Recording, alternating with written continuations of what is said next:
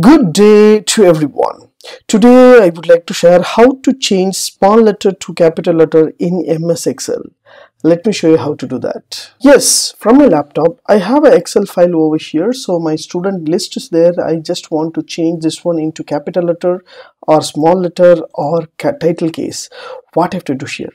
Simple and easiest trick. Just use a equal to and type upper so once you type upper just give a open bracket and select the text which text you want to change like a uppercase. And just press enter key automatically your letter will be changed into small letter to capital letter.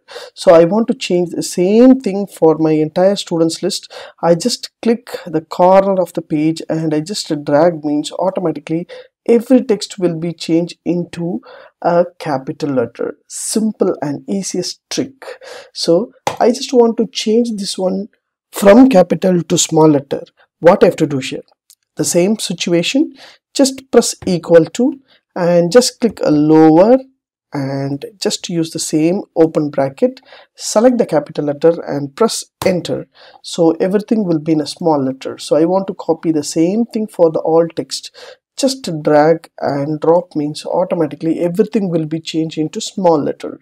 Yes i just want to change this one into title case for example a and k should be in a title and a and s should be in a for example first letter should be in a capital. What i have to do here?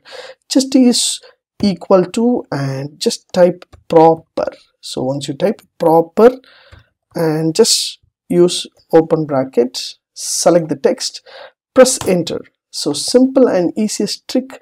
A and K will be in a capital. I want to copy the same thing just drag and drop automatically it will be easy. So simple and easiest trick you can use your text from excel to capital letter or small letter or title case.